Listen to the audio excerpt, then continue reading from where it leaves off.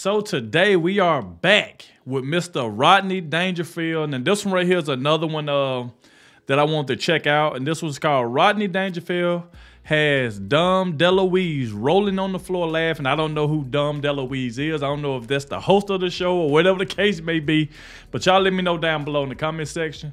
Without further ado, let's go ahead and dive straight into this.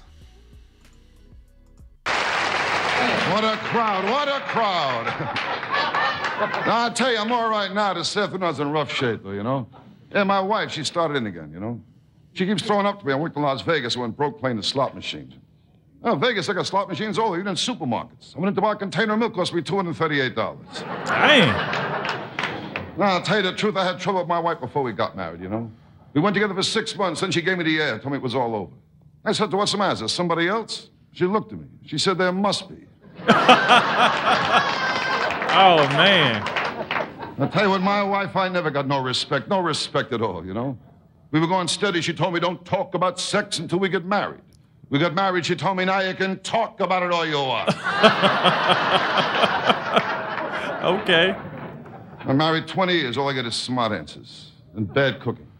And my wife's cooking, forget about her cooking. But the other night I left over a hamburger. She used it to scrub the sink. Oh God. What? Well, you had to come and get it. My house is try and eat it. The trouble with me is I'm too easygoing, you know. Okay. This afternoon, I had a bite to eat in a restaurant. I got busy. I had to share a table with someone. He sat down, an old man. Must have been in his 80s. I mean, this guy was old. I asked him to pass me the salt and pepper. He had to make two trips. Oh, I never get lucky in restaurants. I had dinner last night in a Chinese restaurant. I opened my fortune cookie. And it was a guy's check next to me. What? I said to him, hey, buddy, I got your check. He said, thanks. so, I mean, these wise guys. I was going to take a little vacation, talk to some guy who works in travel agency. He told me I could spend six nights in Puerto Rico.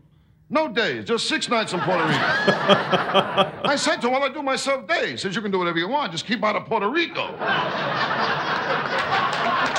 Oh my God, bro.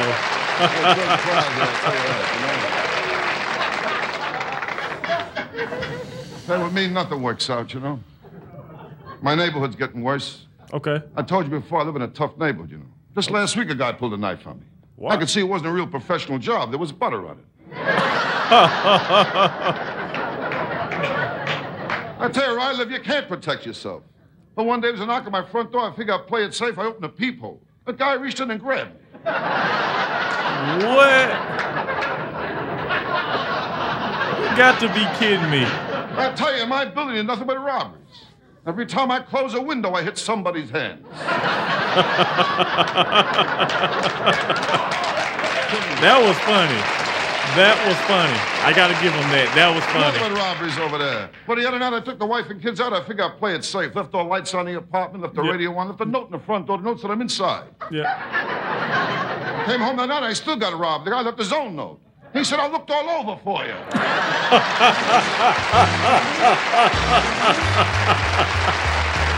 Oh my God, bro. How do you do, Don? How are you? Fellas, how you doing?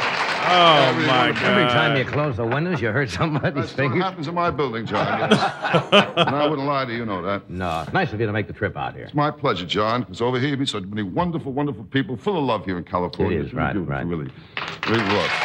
You really are a nice people, I'm telling you. In fact, coming over here, I had a cab driver just full of love, you know. Yeah. Really. And this guy kept talking and talking. He was so happy. He told me all the people he had in his cab, you know. And then he described in detail how he had them. It was really, really. Interesting. I didn't know that. It's It's another one I should have a lot tried of love out. out. You got, you got to take them out of town. You can't just trot them right yeah, I out got to here. break him in all over, you know. But Yeah. he was a sexy cab driver, tell you the Oh. I'm was, sexy huh? myself lately. I don't know what it is. Really? Maybe the weather, what it is. Very seldom be personal nothing like that. But remember, it can happen to anybody getting sexy. Yeah. Yeah. I went out last week. I tried something new last week. Matter of fact, group sex. Group? Yeah. Oh. Now I have a new problem. I don't know who to thank. Oh man. Oh, that was a wild party I went to last. A wild party, oh, huh? What a wild party! No, I wish you were there. Ooh, Yes, I'd party. like to be. I got there, rang the bell. A big naked blonde came to the door. Yeah? And he was the butler. And the butler. Oh man. How'd you know he was the butler? Oh, I knew he was the butler because you could tell he was. I knew he wasn't the maid. That's the No, truth. I'm late in the I living, so you got to be careful here. But I, uh, No, but sex is a powerful thing. Yes, it is. Right. It really is. No, as you get a little older, you think it diminishes at all? No, no, sex is a powerful thing. Powerful you know, thing, yes, it I mean, a guy meets a girl, he's not sure if he likes her. A guy takes her out, he'll take her out a few times, spend all kinds of money on her, ask all kinds of questions, you know. That's Mm-hmm. Yeah. where a dog is lucky, you know. A dog is smart. You know, a dog meets another dog, you don't have to go through all that. Gives out with one smell. She's for me. That's it. You know, Oh. and you know, I love dogs. You love dogs, I love huh? dogs. I love I didn't know that. I didn't know that. There you go, Rodney. Dogs of every. I work with some great dog acts. Great Mhm. dog acts, Johnny. Great Uh-huh. dog acts. I work with Carmine's Canines. Carmine's great act. Canines. Oh, great acts. Yeah. yeah, great acts. Uh, Laverne and her boxer. Oh, oh. Laverne and her boxer. I missed that act. Sure. And show business, show business, tough business, dog acts. These are great acts. you Yeah. know, And show you know how tough show business is. certainly. Oh, it's tough show business. Oh boy. Sometimes I think back of all the women I had to sleep with to get where I got. Oh, wow. Wow. No, I'm just kidding. I'm I bet you will. You know that. You know. I was a kid in show business. I never got girls. Never. Yeah. Never. I was a kid in show business. I remember my big score was Baltimore, 1949. A chubby waitress with acne. I remember how very well. I got lucky one night. yeah. yeah. Girls always give me a hard time. Never got lucky with girls. In fact, just last night, a hooker made me say please. Made you say please. But I tell you, Johnny, I count my blessings. Count your I count my blessings. blessings. As long as you have your health. my- Oh, that's what count your blessings. No, got to count your Health is blessings, everything. Johnny. Got to count your blessings. Um, thank heaven I'm doing okay today, and I had a tough for years, you know. Yeah, I know I paid a lot of dues, Johnny. Worked a lot of tough joints, you know. Fonzo's Knuckle Room, remember that? Fonzo's knuckle room. Oh, he was tough, Fonzo. Was he tough? Oh, Fonzo, he was the first one. He started acupuncture, you know. Yeah, with an ice pick. Oh,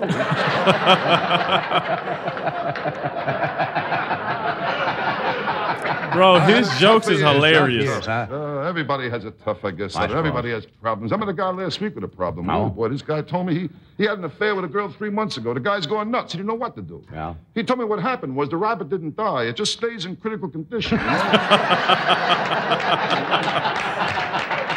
I don't know how that man come up with these He's got jokes. Problems all over Problems the place. all over. But I told you before, and I'm going to tell you again, Johnny. All right. Health is, Health you is, this, as the I whole thing said. is health. You got to take care As long of as you have your Yeah. health. Take care of you. got to think young, hobbies, interests. You got to think young. Right. Mm-hmm. I try to think young all the time. You know what I mean? Okay. Always do that. Can I have a cigarette? too? Certainly. It's not good for your health, though. You know. So I got a crazy doctor told me to keep smoking if I want to stop chewing gum. So what do I take?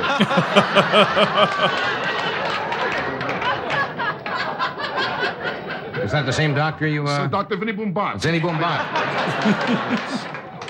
Uh, health is important. I got into astrology lately. Got a new interest. You know what I Oh, did you? Oh, astrology is very good. follow that closely, You meet huh? girls, that's all they talk about. It's astrology. Astrology. Sure, astrology. What sign are you under? You know, that's what they talk about. I tell you, the girls I meet, they're all born under the same sign. Well, what's that? For rent. I... said You for gotta Take rent. care of your health. I tell you, do what I do. What's that? Oh, I tell you what I do. What you do? I watch. Crazy. Go ahead, nuts over there. I watch television. I What? get healthy from television. You get healthy what? from television? How can you get healthy from watching television? Who's talking here? From just I watching watch- television? That's right, the commercials, the public service Uh-huh. commercials. They got All all right. kinds of tips how to take care of yourself. You know, they're very, very good, really. Tips, huh? I saw one last week, a commercial, a public service commercial was beauty, you know. Mm-hmm. Yeah, a guy came out, he said, Hi. My name is Bob. This is my wife Ann, my daughter Susie, my son Bob Jr. Right in front here's my mom and dad. Now, we've all had VD.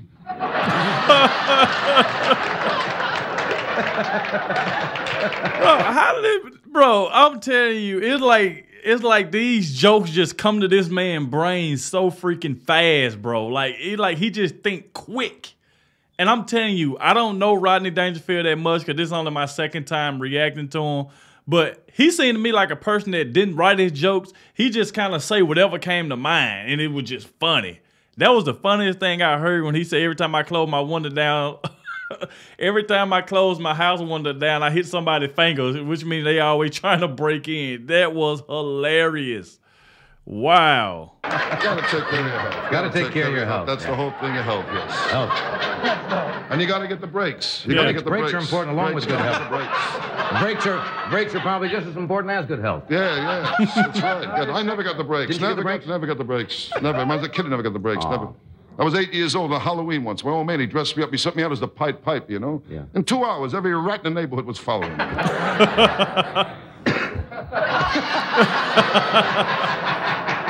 Never got that Just break. too A lot of pressure going for me, Johnny. A lot of pressure Lot of going for me. I'll tell you, it's a lot of pressure. Uh, How are things going to the club? what was that?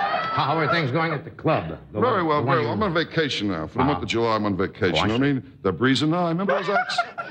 Who do you have in there now while you're gone? Do you have some big acts in there? Porter's cleaning up. Okay, Porter is- who's in there? I don't know who's in there. I'll tell you, he just comes up with There's a lot of pressure going for me. It's just terrible. It's like pressure, like a heaviness. It's always on top of me, that Yeah. heaviness, always there. Other guys wake up in the morning, ah, new day, up and at 'em. I wake up, the pressure's, pressure, the heaviness is waiting for me, nice, the heaviness. Sometimes I even talk to it. I say, hi, heaviness. and the heaviness looks back at me, today you're going to get it good, you know. Oh man. You'll be drinking early today.